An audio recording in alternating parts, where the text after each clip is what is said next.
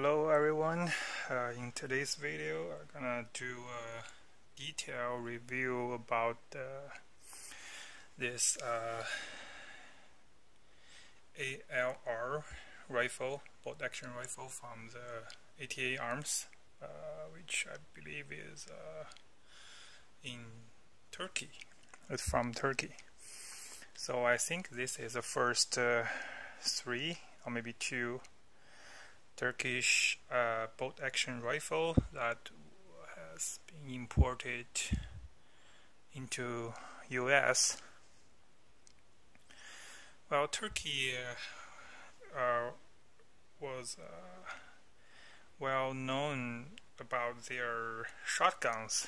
They build all kinds of shotguns like uh, semi-auto, pump action and uh, those like uh, double barrels.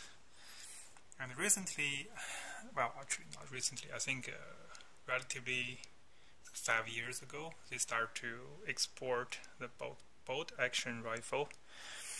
Uh, unfortunately there was not many information online even on their official website about their how I mean what's the structure of their their rifle and uh, and uh, how does it made or it's you can't find any detail unfortunately. I, I don't know why. And uh, even on the on the YouTube there were I think three or four videos totally about this rifle.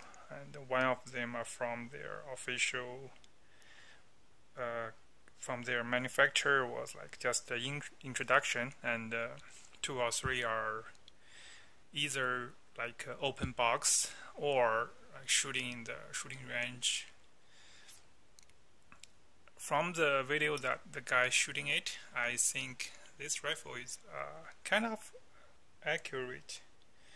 So but but by the way all the modern bolt action rifle is kind of accurate these days, especially the one with the aluminum ch chassis.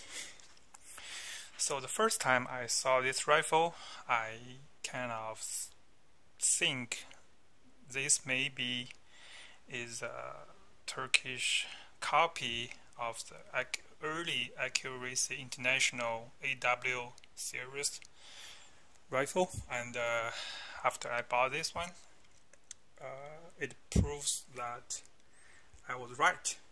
So I have a, a Accuracy International AT308 here, and uh, and there and this is their boat.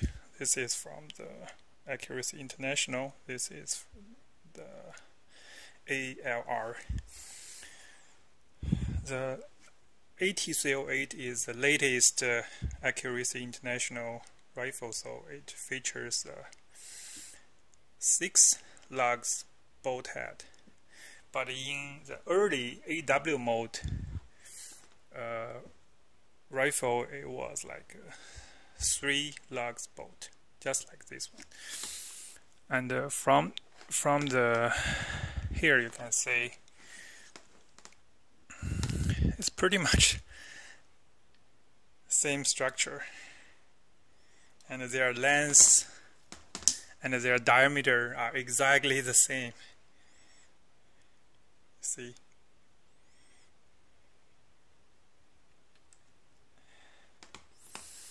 And uh, well their receiver are pretty much also exactly same length I just measured also the there's very minor difference like uh, the safety on the Accuracy International rifle is on the end of the, the bolt and uh, on the ALR rifle the safety is on the receiver but it's also uh, sweep position safety.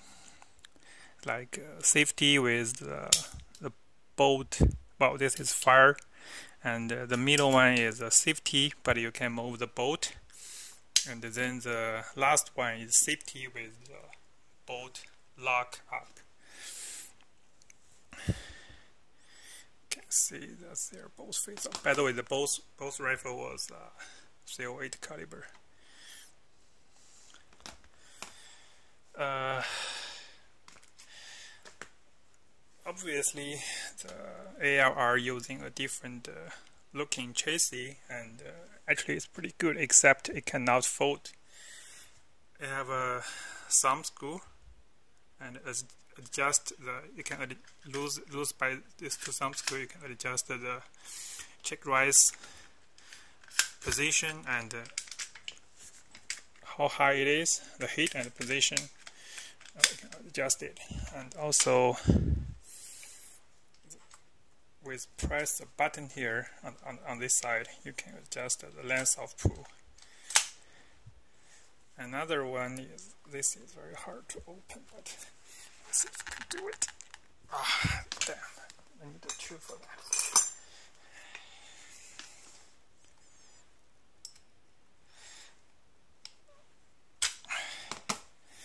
By lose this level you can just adjust the shoulder pad position and angle. Actually the to be honest the feature of this chassis is pretty good. Consider the total price of the gun is like uh, $1200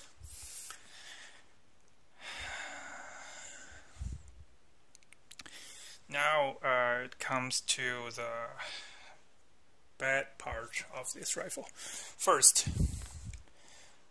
the bolt. Goddamn, there is some dog here. Well, the bolt is almost impossible to remove once insert. The reason for that, I have to remove this thing. I already lose the remove the two action screws. The reason for that is they are both stop is somehow a little bit too long. After you insert it, it will the your bolt will stuck there. I can show you. First insert bolt is already pain in the butt. And remove it is also pain in the butt. I I modified this bolt stop a little bit. If you have a new one, it's highly possible you cannot remove it. If that happens, you have to uh, remove the receive barrel receiver from the chassis and uh, there is a roll pin. You have to tip it out and then remove the bolt stop and remove the bolt. Oh by the way you can see their sear. It's pretty much exactly same as the accuracy international model. Just like that one. If you have accuracy international gun, you know what I'm talking about. Uh, another best thing about this rifle is uh, the bolt in the receiver. Normally, you can you you will hear some people say, "Okay, the bolt is so small, so kind of thing for like a Tikka or like style or some high-end Europe rifle, but this one is opposite of sm it's not smooth at all. It's it's you know it's it's like it's like some some uh, it's not like sandpaper, but it's more or less like uh, uh, two pieces of rubber is is sliding between each other. It's it's not smooth. It's I don't know why. It's it's really really not smooth. It's hard to get it out. Okay. And one more thing, you can see the craftsmanship on this boat also not good. I don't know if if you can see this. I can. Oh, it's really hard to focus on this thing. Let me my light. It says there is two marking everywhere on the bull head. yeah. Uh, well, it's well just uh, it can compare with the original craftsmanship of the Accuracy International anyway, and uh, of course its price is also not comparable. Uh, I think uh, that's all for what I have to review today. Uh, oh, by the way, the barrel is there is a little bit of sign of glue or like epoxy or something like that on the on the bar between the barrel and the receiver here. You can see maybe that's a thread locker or something. I have uh, some concern about if you ever want to rebarrel this thing it may not be able to do that. Uh, I believe nobody ever did that before because this gun was relatively new oh by the way it's uh, also use a double stack, double fading magazine, just same as the Accuracy International AT. Because, well, the, the Accuracy International rifle was like uh, epoxied on the chassis. I cannot remove it. I cannot compare these two, but you see from side to side how similar they are. I have to say the the Turkish just uh, pick up a very good teacher to learn from. They didn't uh, use uh, Remington as other as everybody else. Uh, well, I'm not saying Remington is is bad, but you know, the accuracy in the national receiver is more. How to say that? Is more tough. You have much more metal to for the thread and all kind of things. So that's all. I will bring this rifle to the shooting range hopefully later this week and uh, make this review a complete one. Okay, so this detail review part was done today.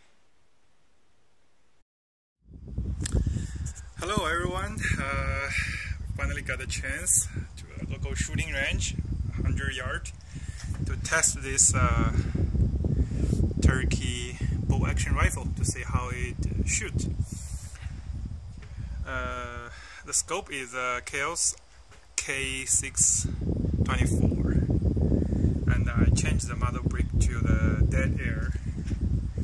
The plan is first to uh, use some cheaper ammo to first zero the, the rifle, then clean up the barrel and use some good ammo to shoot some group and uh, check. Uh, by the way, this is my target.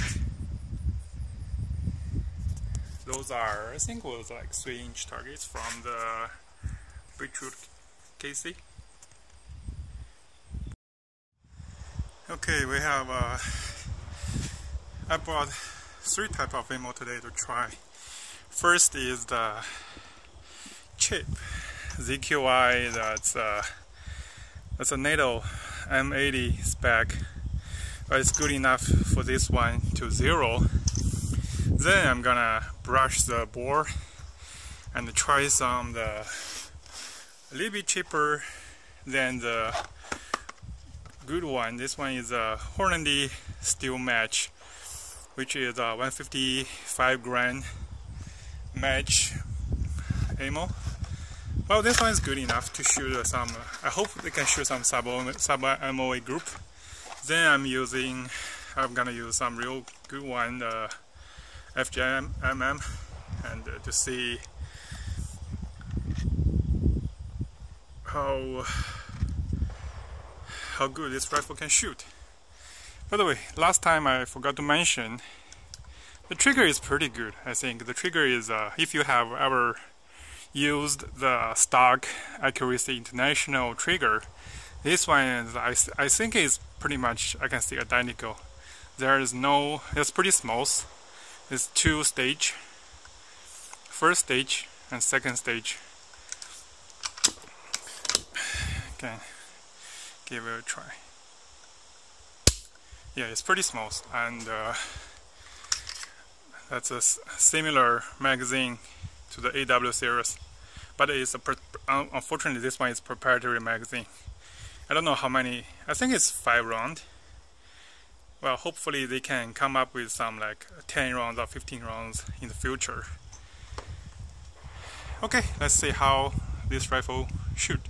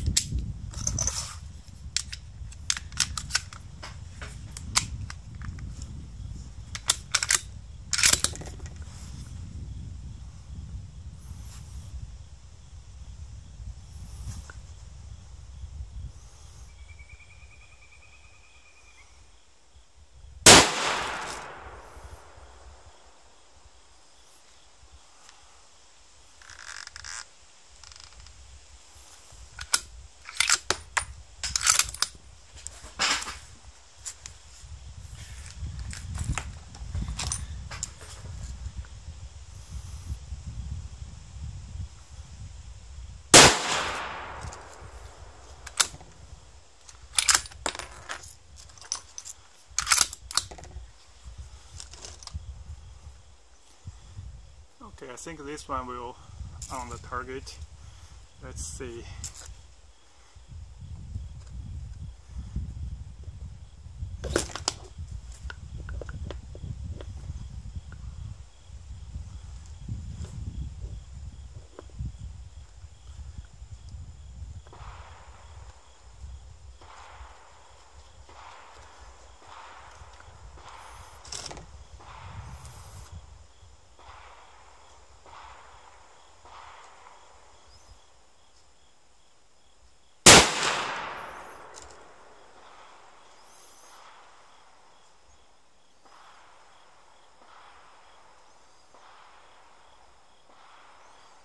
It's about 0.7 mil low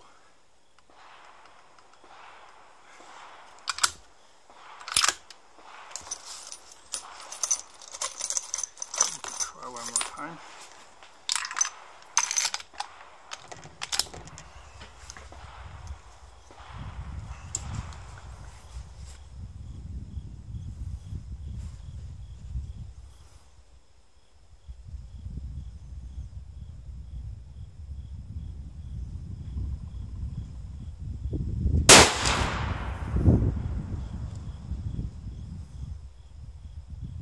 okay it's pretty much zeroed and now I'm going, going to clean it up and try some good ammo one thing I can make sure without the folding stock clean up the rifle is pain in the butt you have to remove the whole check riser then clean it.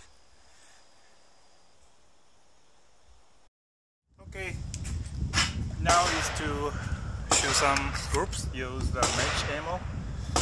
First, I'm gonna try a five round of the Hornady steel match to see how I'm gonna shoot.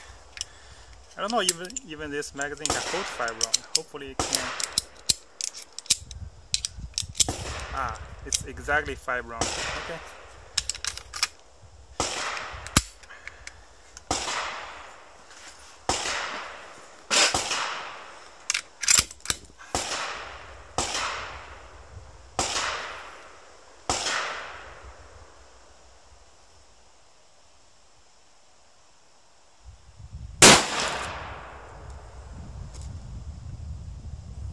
Uh, this round has a different zero than the previous one. Actually, it's a lot different. Anyway.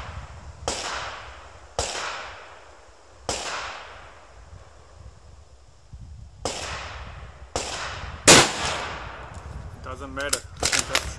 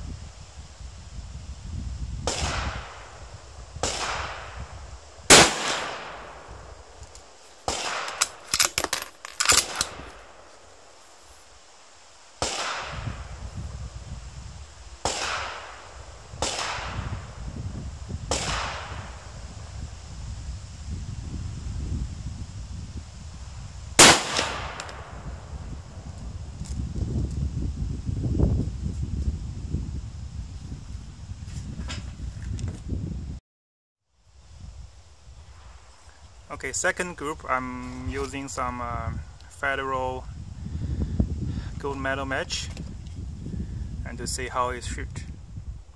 By the way, I adjust the zero about half mil up to match the Hornady steel match zero. Hopefully this time it will on the target.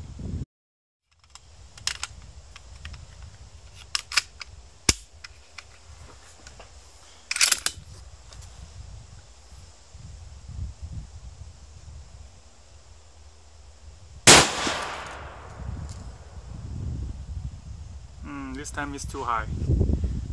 I don't know why.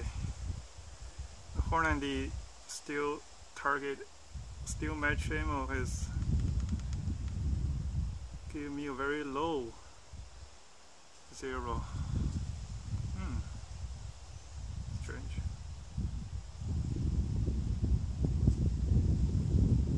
Okay, this one will be a four shot go on the target unfortunately.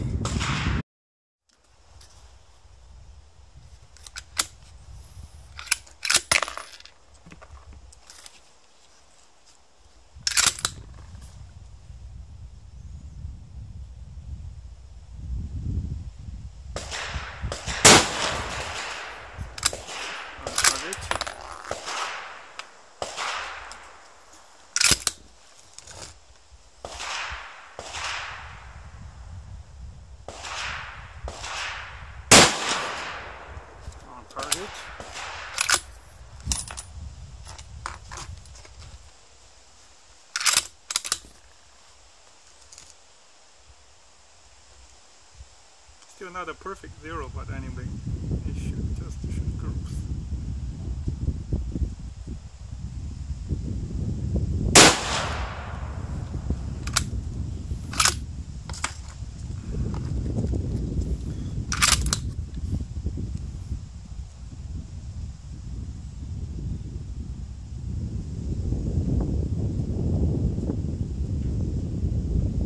Okay, here today is a little bit windy. I don't know if that affects this thing.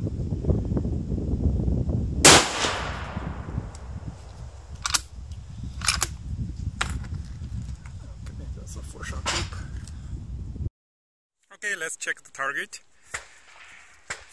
The first one, this five group, is the Hornady steel match. Somehow it's uh, one mil lower than the zero. So, well, than the original, the, the NATO chip ammo zero. So I adjusted uh, the real zero based on the Hornady one. Then I shoot this one, you can see the uh, gold medal match landed one mil high. So then I readjusted the one mil low. This is a gold medal match, four round group. Then I shoot another five round group with the gold medal match. Finally, this one is a five round group with the Hornady steel match. You can see this this gun is kind of hit enemy sometimes, so I should say this is not a under one MOA rifle. Unfortunately, it's more like uh, like a 1.2 MOA rifle. Consider this one is the first bolt, the first bolt action rifle that's exported from the Turkey. It, uh, well, they may still may need some uh, more improvement on their barrel and the chambering. I believe. Well, if I can repair that, that goddamn thing, maybe it can shoot because the receiver is pretty good anyway. So, well, thank you for watching this video. Uh, let's. Oh, by the way, I can. I think we can shoot some. Uh, uh, something with the suppressor on. Uh, let's see. Okay, now you can see the suppressor is installed. This is a, a dead air Nomad L, which I think is pretty good on the sound.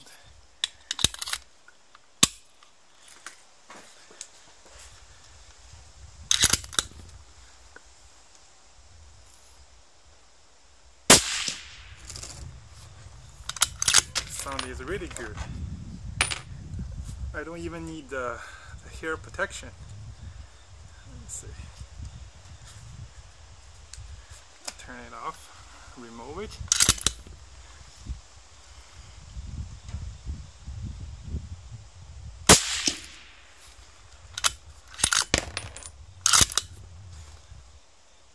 It's pretty much hearing safe, I think I can see.